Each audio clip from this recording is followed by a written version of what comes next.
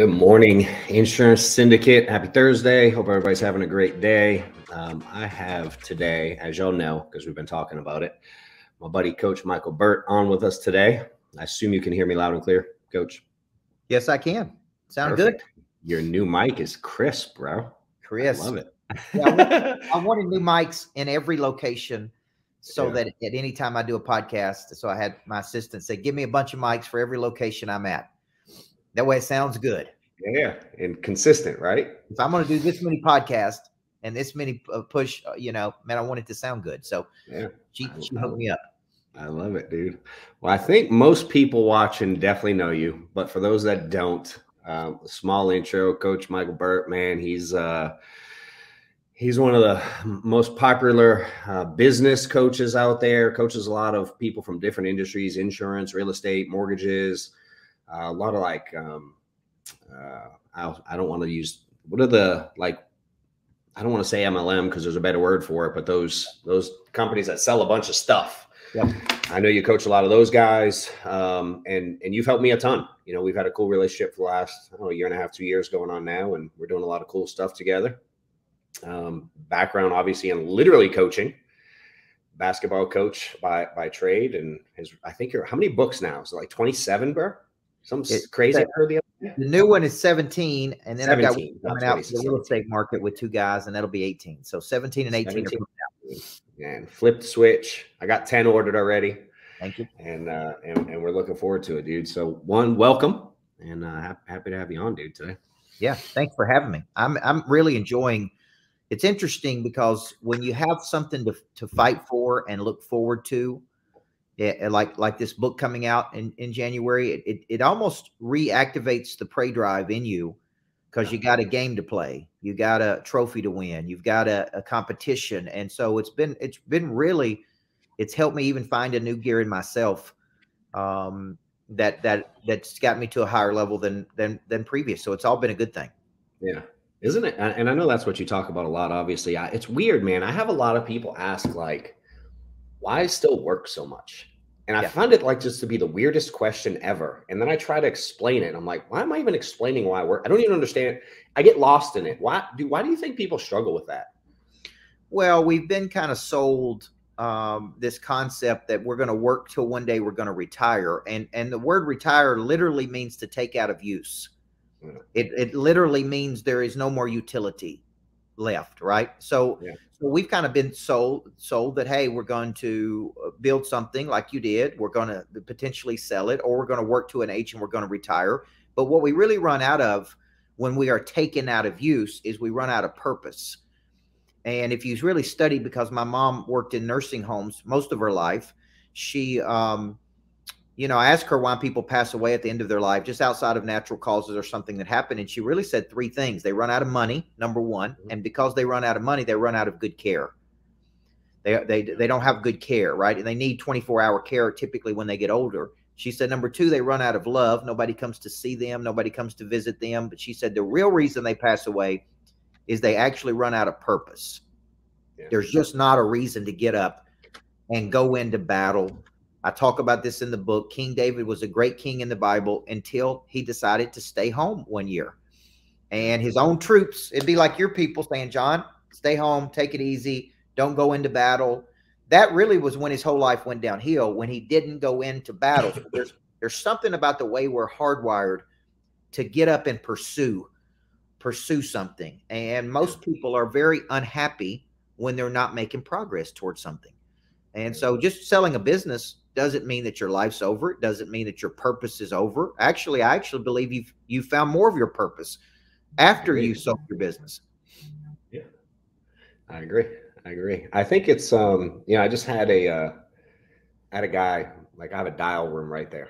There's like 15 desks. Anyone, any agent can come in anytime and dial. and I had a guy just literally walk in. He's like, Hey, I'm somewhere in your group. And uh, I work with this guy, directed this person hired me, and I'm trying to do this work from home thing, and it's terrible. And I'm like, Yeah, I definitely know.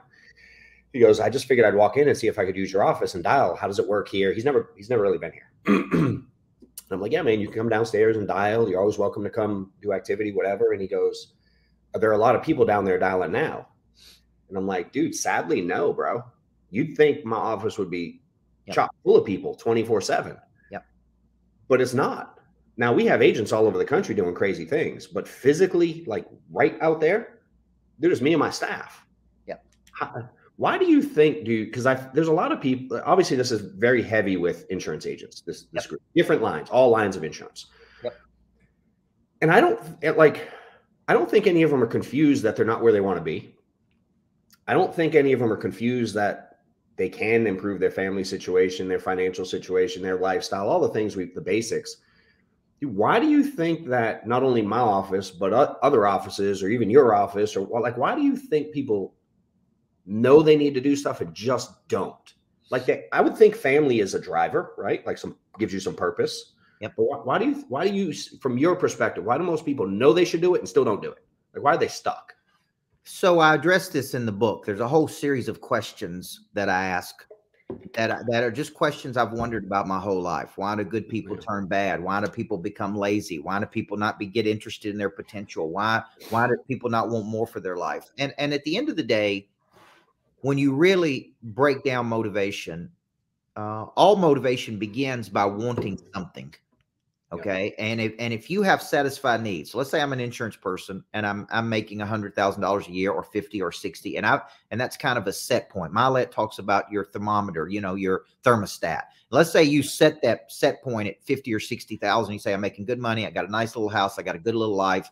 The problem with that is it actually suppresses your prey drive. Prey drive is activated when you actually want something more than what you currently have. Now, you may be going along about life and not know any better and something comes into your life and it exposes you to something. So think of it as i see something and i and i like it man. I'm like that's good. I want that. I want a better life. But until that event happens until that person walks into your life until you watch that podcast until you hear a person speak until you go to a conference you know you never really know how to go get it. And that's really so it's kind of part not knowing you know, I was uh, talking to a young real estate agent yesterday, and she's, you know, 40 something years old, three kids. And she said something to me that got my attention. She said, I've never invested more than a thousand dollars in my personal development, but I'm mm-hmm. only doing 36 or 37 real estate deals. And I said, Well, there's a direct correlation between you investing in yourself and learning new skills and the number of deals you're doing. Yeah. That typically the top people who are doing the most deals are investing as much as 10% of their total income in coaching, strategy, masterminds. And so that's why they're doing more, they have more knowledge than other people. So that to answer your question, until the prey drive is activated through something, embarrassment, think about your life, mm-hmm. exposure, environment. This is why coming to the office is so important. I would do any study in the world that could show you that people outperform other people most people when they're in an office and an environment where there's an expectation and an environment. And but yeah. still, it's easy to stay home in our pajamas, wear warm up suits. It's it's the path of least resistance, which is why. So so don't you know now if you come to me and say, "Man, I'm making a million a year working at home in my pajamas," I'd say keep you know stay stay at home and work in your pajamas if you're okay with a million. But if you want five million, do you yeah. need to go where opportunity? Yep, I love it. Um, it's it's such a wild dynamic, dude. And I it, it's weird because I lived it for so long. Yep. You know what I mean? And I don't even know why I was stuck looking back on it. I'm like, because I am I was not who y'all know today by any means. And yep. one day for me, dude, it just it my it changed in like an instant for me. It was really weird looking back on it. I don't know if that's for everybody or if it's gradual for some people. I just don't. I'm, I'm always so intrigued by it. I think um, both. To be honest with you, I think yeah. I think things build up you reach a level of frustration or embarrassment mm-hmm. and you're just so sick of your performance that one day you just literally what the book title is you flip the switch and it's over and once you activate that drive it's interesting because i used to coach this this guy's worth about 300 million dollars and he used to say to me when, when when you go when you when you go pro in one area, you go pro in every area. It's amazing what happens when you make that decision. It's like you go pro physically, mentally, emotionally, spiritually. It's like, man, I'm tired of playing amateur ball here. I'm tired of making baby money. I'm tired of to, to having all this potential, but not doing something with it. I'm tired of it. And when you get sick and tired of, you know, I have a list of things that's that's called my tired of effing around list and it's uh it's a list I update pretty regularly. And it's like, man, I'm sick of this, I'm sick of this, I'm sick of this, I'm sick of this. You know, I, yeah, yeah. What's like, Just playing, yeah, huh? just just not having enough staff members, not capitalizing on leads that I generate. Uh, still at the it's still even at the income level I'm at, I still think it's you know my business was up 90 percent year over year this year. Yeah. Okay, so so in essence, it's about a million more dollars. I made about a million more dollars this year than I did last year. Okay, mm-hmm. and uh, but I still look at that like look at the amount of force and energy I exerted for that million and so it frustrates me. And so it's one of those things like, okay, what if I had seven more people? What if I had an office? What if I had 50 people on the phone? What if I had this? And eventually it's like, man, I'm going to do something because I'm just sick of talking about it. Yeah. What's this is a selfish question. What's um what's the deal? Because you've you've been around some really high end people. Like you said, one guy 300 million. I know I've heard some stories of you talking about some other guys that are worth like they got some FU money. Yep. And I really believe I'm on the path, dude. I just I don't have FU money yet. You know yep. what I'm saying? Like I do okay. What what do you see as the difference between someone maybe like where you and I are at versus a guy that's worth three, four, five hundred million? But like, what do you what how do what's the what's the differentiator or like how do they get you know what I'm saying? Like, what do you see different? Because I don't, real, I'm not around those type of people. The real differentiator many times is um, the remarkable boldness they have. It's two things the way they see money, number one, and the way they use money. Their, so their relationship with money is different. Okay. And they, they truly have total cash confidence that they can go make it if they lose it. So they're not afraid of losing it, number one, which a lot of people make money and they store it because they're afraid of losing it. Uh, and that's a big difference between the big, big time people. And the other thing is just their remarkable boldness. Their their disregard for what people think about them. They're they're not you know, they're willing to make big moves, big, bold moves. You know, I'm having lunch with Chuck McDowell today. He's a guy that's lost everything, won everything. He, has got literally no fear. I mean, he started a mortgage company right in the middle of the right in the middle of this thing. I mean, it's just crazy. I mean, some of the stuff, it's like, how does that guy do it? I mean, it's just, yeah. And every time I'm with him, he's like, you got to get bolder. You got to really? get bolder. If you're going to get to this level, you got to get bolder. And I think that's really at the end of the day, their skill sets sometimes are you know, because I've been around, uh, I spent a significant amount of time, you know, from 2012 to 2015 with around Cardone, uh, just mm-hmm. being down there in his offices, being around him, did events with him. I watched and observed his uh, how high his prey drive was, but his his uh, action level was always really, really significantly higher than other people. Uh, so if you take some of the insurance people, and uh, and there's people, there's a big difference between being rich, and I would say if you make over a million a year, you're rich um, and and and wealthy. And wealthy, I think you got to get up in the you know 10 million and above range, or even 20 mm-hmm. and above range, uh, to really be wealthy. You know, and there's a big difference between those levels. Yeah, I agree. And it's funny. I'm you know obviously I'm around Sean a lot, and I'm just his. I think I, I feel like I work my butt off, and I see someone like him, and I'm like, there's just another gear. Yeah, uh, it's multiple. gear. It's crazy. You know, he's the one that I'm around the most. That's that's done the what the the best in, in that in that realm. So, um, and and by the way, if any of y'all have questions, feel free to type them. If I see a good one, I'll put it up on the screen. I, y'all can definitely interact here. Um, we don't have like a scripted conversation. Y'all know me. I just get in here and start talking, and Coach and I talk several times a week. So I'm just enjoying more time with him to be honest. But if y'all have anything, please post it. I can see the questions. I'll put something on the screen if it's if it's a good one and uh, happy to happy to have him answer some of these as well. Yeah. Um, what do you see like um, in the sales world? Yeah, actually, that's a good one. Let's do that. I'm gonna I'm gonna show Joe's because I like this topic.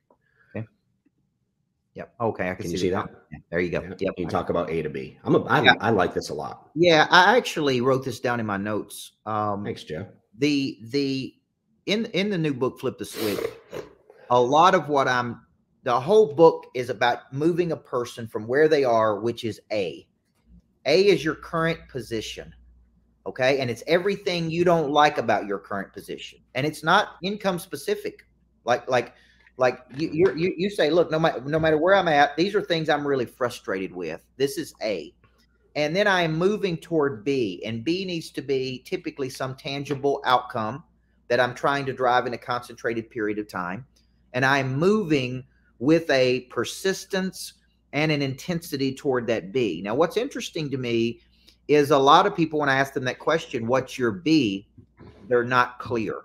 Yeah. And if you study the subconscious mind, which I did for for this book, the the subconscious mind tells me that if you don't tell the brain what to do, it doesn't take an action toward anything. It literally just gets up and takes the path of least resistance, which is why you see me always have my remarkable. You see me always taking notes. You see me always doing A to B. A, I'm current Yeah. position, and it could be here's seven things I'm frustrated with.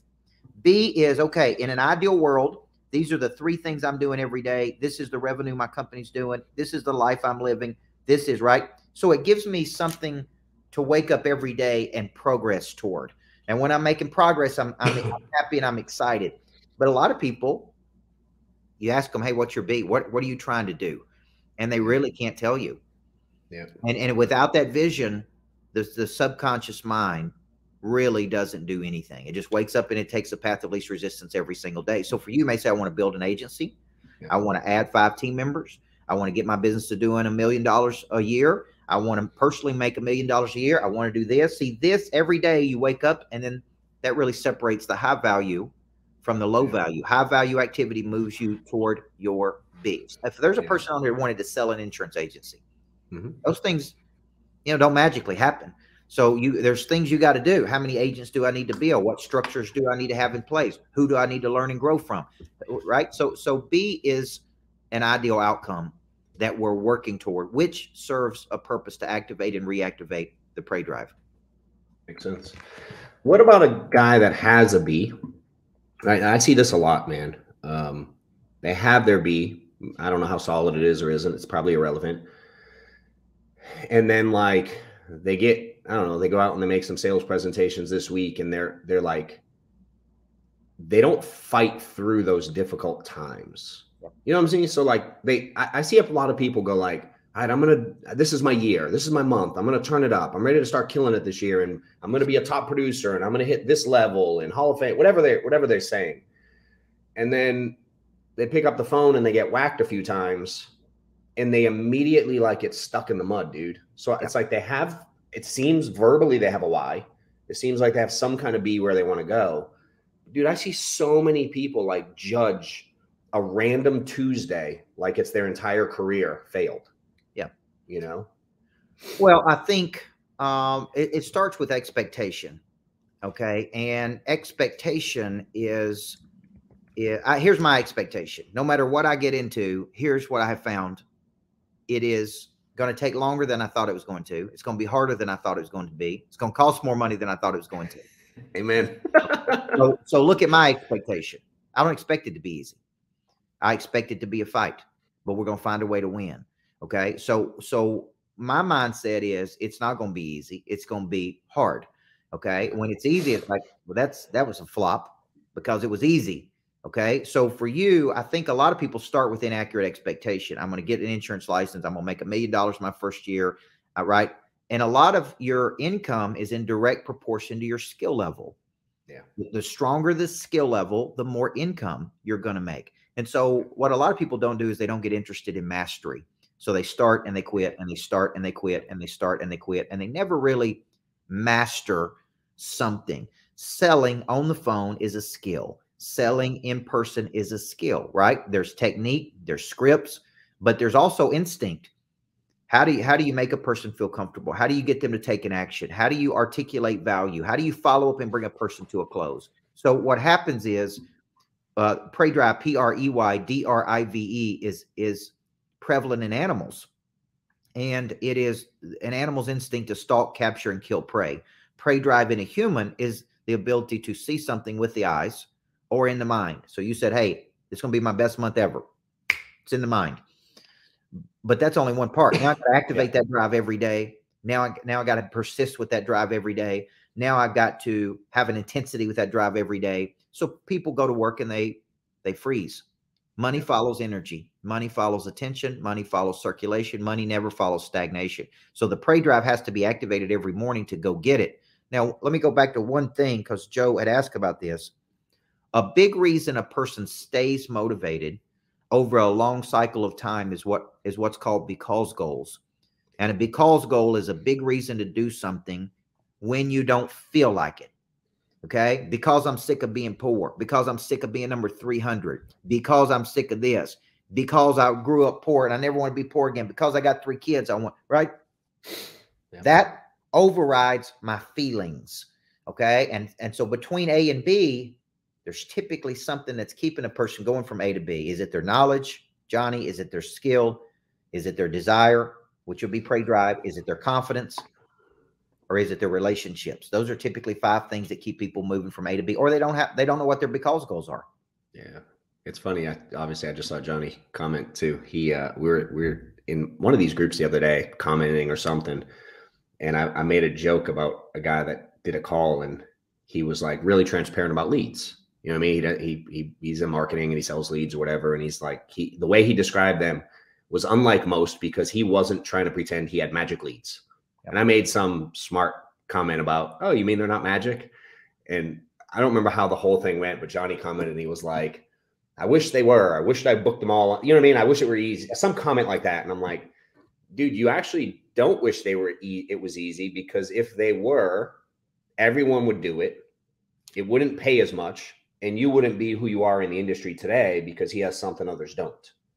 You know what I'm saying? And it's like a lot of people do wish it was easy. I'm like, I'm like Walmart's easy. That's mm-hmm. why it pays like crap. You know, and anyone can walk in and do it. So I, I enjoy the journey of hard now.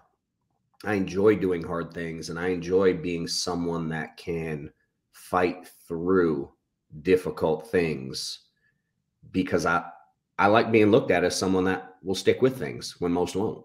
You know, and it, it, it, makes it really easy to stand out when, when you kind of fight through that stuff daily. Well, this is um, why we get into the habits of the top 1% in the book. Yeah. And yeah. and two of the habits of the top 1% are grit and resilience. All the top people have that. And the other one that I like that people don't talk about is the ability to lock in and see something through to its conclusion. Yeah. To to to yesterday I was coaching a young group of real estate agents and I said, see a lead. How do you see a lead through to the maturation of the lead? And the yeah. young man said, What does maturation mean? And I said, It means maturity of the lead. Okay. Now, national averages on follow up for most people 1.8 times. Every statistic in America tells me we should be going seven to 15. The top people keep coming. They just keep coming. You can't knock them down. They keep you can't keep them down. Pandemics, bad economies, uh, lose everything. Like like like literally, there's two things they have: is that grit and resilience. Grit being a combination of passion, perseverance, and uh, resilience being the ability to use adversity or leverage adversity to actually activate the prey drive. You actually need the adversity sometimes to activate your prey drive. Uh, without conflict, then many times you never get to the level that I'm talking about in this book, which is a freakish level. When you see people doing things like, man, how does that dude get to that level? Yeah. He's using he's using rocket, he's using adversity as rocket fuel. He's using yeah. negativity as rocket fuel. He's using, you know, getting good and pissed off as rocket fuel. That's what he's doing. Yeah. That's that's my fuel, bro. that's I'm I'm like a, I'm a fu kind of driven kind of guy, that's and uh, you know it is what it is. That's what do you, what would I'm curious on something, and we've never talked about this before. And you know, it's it's funny. Obviously, I do a lot of recruiting in the business, and where um, I'll put that up in a second, Joe. And uh, you know, I think one of the mistakes people make recruiting is they they literally try to sell them on the dream here in insurance, hire everybody, and then get frustrated with the lack of result or people's quit or give up level. You know what I mean? And they just there's if you were on if you were to speak from the side, and I know you're getting in the business, obviously you don't you aren't at a point where you've recruited at a mass.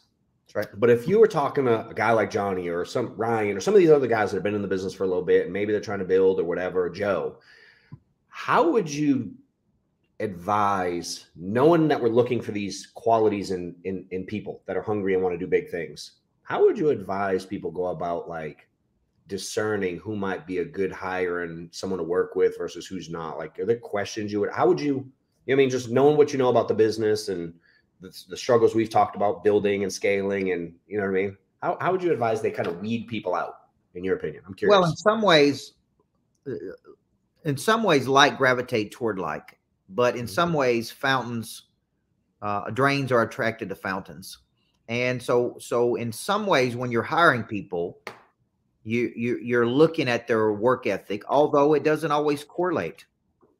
For example, I hired a person once because they worked out at 4:30 every morning at CrossFit, and I just swore. I told my wife, I said, I know they got to have some toughness about them. Yeah. They did have toughness for CrossFit, but they didn't have toughness for my work.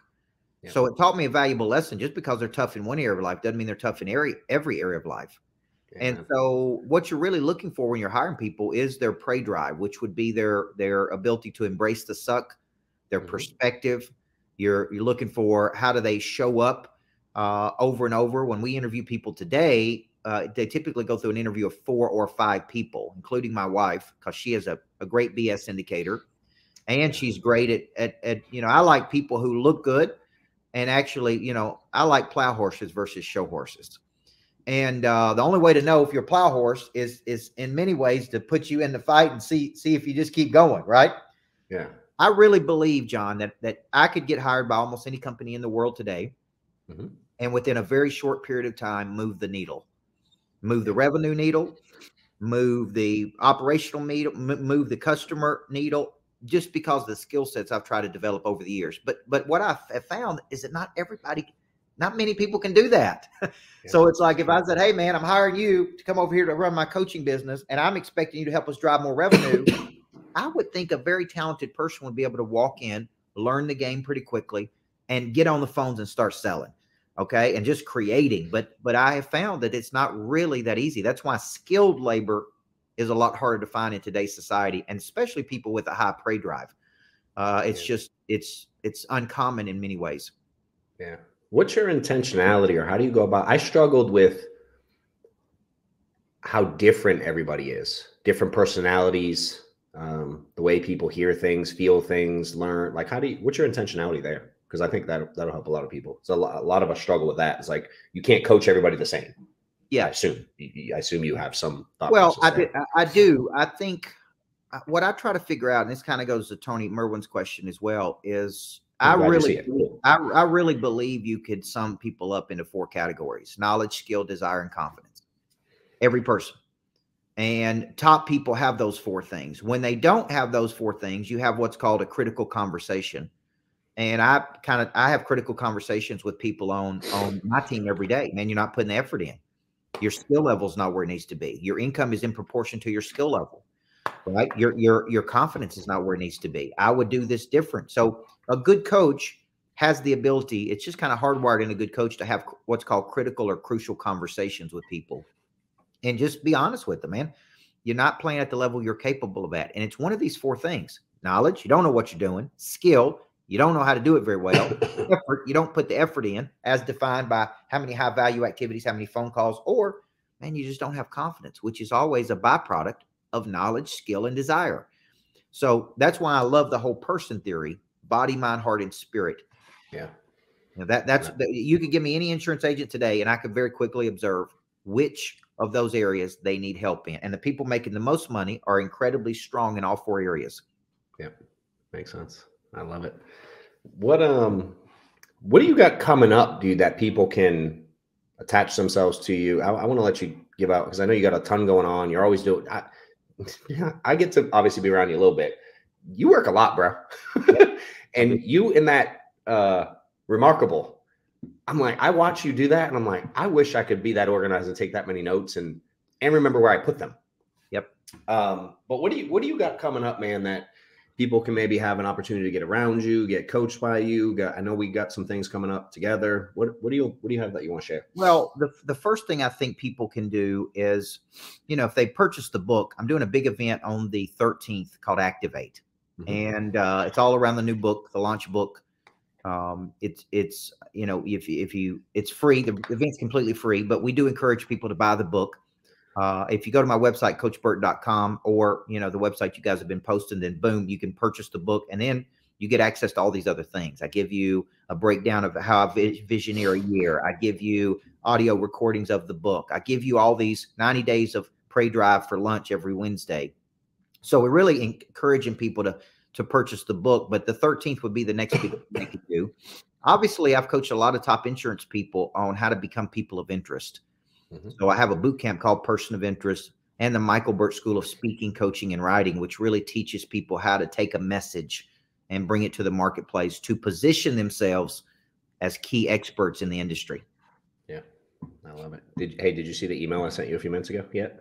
I did. Yeah, I just said it was not coming in. Yep, good. Cool. So, coach is gonna for those that are with us or want to come see. You know, obviously, we have a big event every year, um, early February in uh, loanDepot Park, and coach is going to be a, a, headline keynote speaker there. So we're finalizing details of schedule and things like that. So he'll be with us. I think it's the February. I'm not on the calendar. First, second, third. That first weekend in February. So that'll be cool. Probably I don't know, 15 plus thousand people there speaking. So it'll be it'll be cool to see there. What's the most you've spoken in front of at once, dude? I'm curious. Uh, I think probably 10x, 10,000 at Mandalay Bay. Um, it was the biggest audience at one time 10,000 yeah. at Mandalay Bay in Las Vegas, 10x. Yeah. Yeah. If y'all haven't seen him speak in person, dude, it's, I love it. Like, I'm not afraid to get up and talk in front of people, but dude, your skill set's a different level. I'm in the back trying to study it. Like, and obviously you gave me some feedback last time. I'm like, all right, I gotta, I got stuff to work on, dude. Well, yeah. just like you've been, you know, doing insurance and you've reached mastery level there, and you, you know, that's what I've been doing for, you know, the last really 20 years. Yeah. Is being on small stages and big stages and tough audiences and big audiences and yeah. you know, and and uh, it's just a long obedience in the same direction where you learn. It's more instinctual today than it than it than anything because yeah. I can and refinement of a message. What do I really want to say to the world? Who do I yeah. want to help? What's my skill set to help those people? And I and I feel like I found that in Prey Drive. All of my concepts I, I really love, but but this Prey Drive concept is um, is who I am, right? I mean, it's it's me. Yeah, it's the intentionality I like when you deliver stuff, but the engagement, dude, is next level. Yeah. That's the piece I think you crush. I'm like, if I, I, am I'm this year, I'm working on that. Like I speak, I'm gonna be. Oh, look at that! My wife just posted. Her peeping go, Stephanie. Thank you. Thank well, you. To me, to me, I'm a coach. Hey, so. be clear. She's never come on a show yet. She's here for you, bro. this ain't because of me. well, I got I got something to tell you. Is that is that my wife was so excited to get some of those shoes that Stephanie told me to get her. As I got her, I got her two pair, and I think my wife loves them. I think she sleeps them at night. That's how much she loves those things. So. So I can thank her for, for getting me to get those expensive shoes. But my wife was 100% excited. She has the best Christmas gifts I'd ever got. I love it. That's so cool. Um, what uh, what do you want to? So I always try to give. I would try to end it. And again, if anybody has any questions you want to, we'll, we'll wrap on them. Uh, you can put them up and we'll wrap soon. But I always like to give agents something from each person. It is Tactical Thursdays, and I like people to be able to walk away. And you've given obviously a ton of stuff, mm-hmm. but if you could talk to an individual insurance agent and tell them something they can literally hit end on this show and go do right now to improve their yeah. business situation. Give them give them something, a couple things, whatever you want there. Um, I believe selling. I did a whole podcast last night with a guy in Asia. It's 9 a.m. in Asia, 7 p.m. in Tennessee. And he he asked me what my philosophy was on selling. Okay. And I like to make this real simple for everybody. Selling is money exchanges hands when problems are solved. Everybody either has a problem or they have an ambition. Okay. And so what I do that's very tactical when I'm talking to people is I initiate, I initiate a lot, which means I initiate conversations a lot with people. Okay. Uh, I connect with people and then I locate their ambition. And the craziest question is a real simple question. I ask people, what are you trying to do? and and almost everybody tells me i've never had a person not tell me i'm trying to do this i'm trying to do yeah. this if i was selling insurance it'd be the exact same way man are you trying to protect your family something were to happen to you yeah. you know uh, do you feel like you're properly protected and and most people are not as you know as you've told me 70 something percent of people are not and i just have a conversation with them but but once i locate the ambition once i locate their desire once i locate their problem now i know how i can help them and that is really important. So so it's a real simple formula. I initiate, I connect, I locate their ambition, and I invite them to take an action.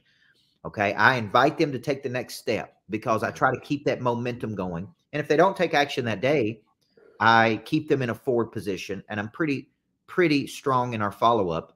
And I do believe that you keep following up until you bring you bring it through to its natural conclusion. And many mm-hmm. people just don't do that. It's on dreams, ideas, selling, partnerships, you know. So that is a real tactical thing I do every day. But if you follow me around, you see me do it over and over. I initiate with people, I locate Follow what they're beast. do, and then I Yeah. follow up until I bring until I bring it to a decision, which means to cut something Yeah. away. Yeah.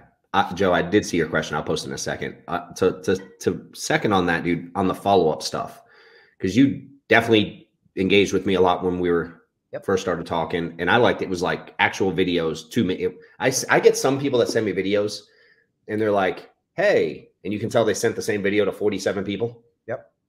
You're super intentional there. But what do you say to the average agent that I hear a lot, dude, with follow up? I didn't want to bother them. I think they're busy. Like, how, what, what's your thoughts there? Because you don't give a Yep. rip. No, th- those are internal. Those are internal considerations. The truth is, you can't lose something you don't have. And if you following up with a person uh, scares them off, then you never had it to begin with, and and they're not really interested, or maybe they're just not interested today. So to me, uh, I was a disciple of Covey, and one of the strongest things Covey taught was between stimulus and response is a space, and in that space lies our ability to choose our response. And what that really means in the sales cycle is I can't control John Wetmore's response.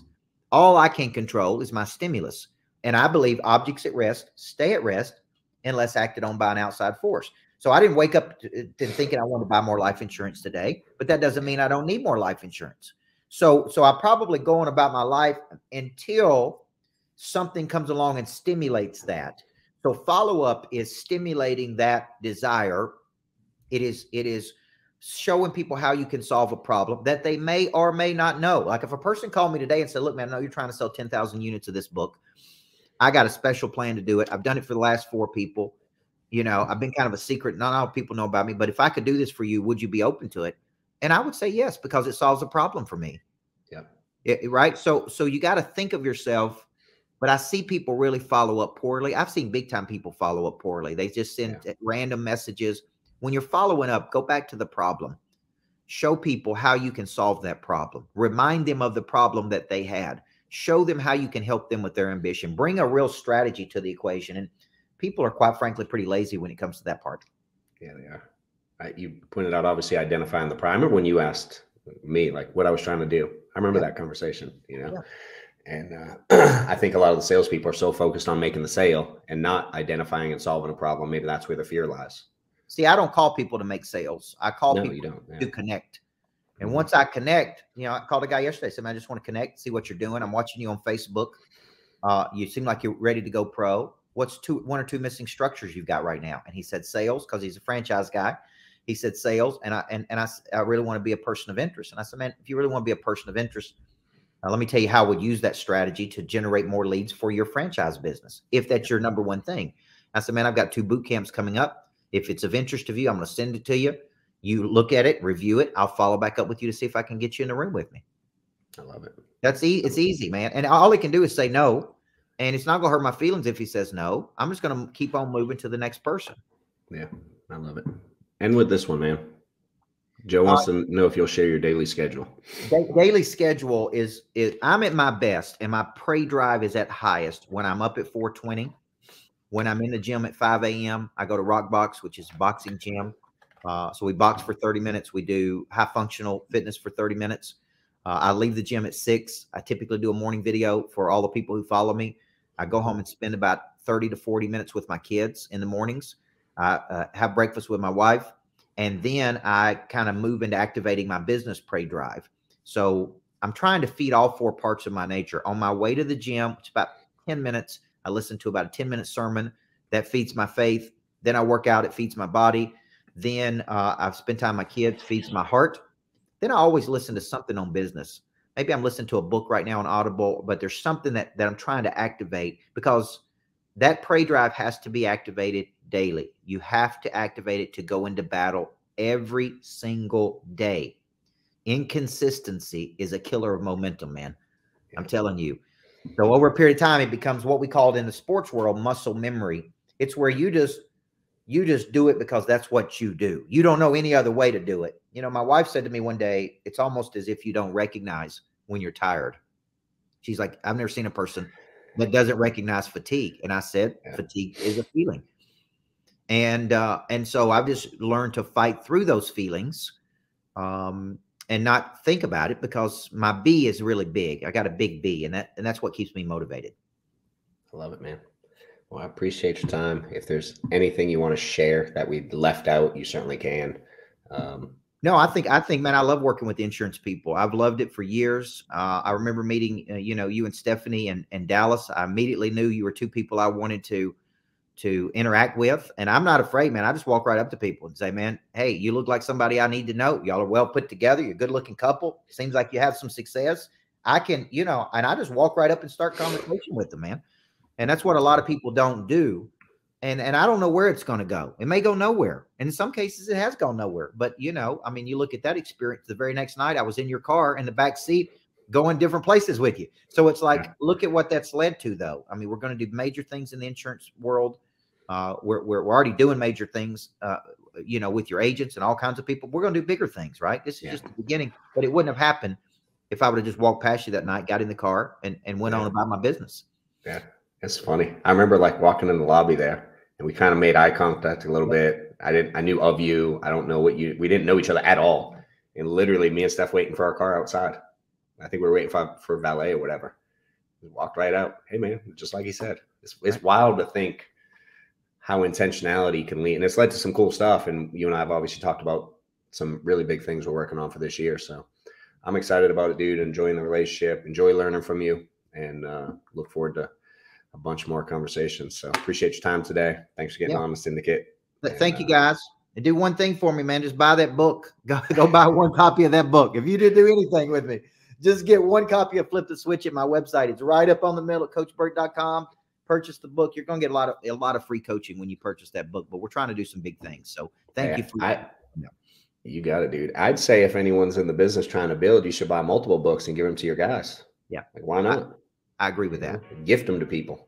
So appreciate it, coach. All right, have a great day. Thank you guys. Have a great day. Talk See you soon.